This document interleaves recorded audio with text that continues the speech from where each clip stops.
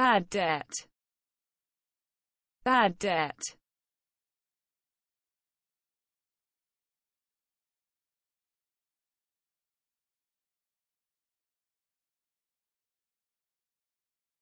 a debt which cannot be recovered from the debtor, either because the debtor doesn't have the money to pay or because the debtor cannot be found and or forced to pay.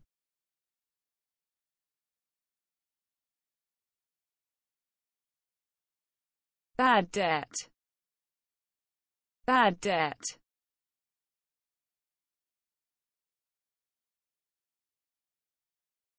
a debt which cannot be recovered from the debtor, either because the debtor doesn't have the money to pay or because the debtor cannot be found and or forced to pay.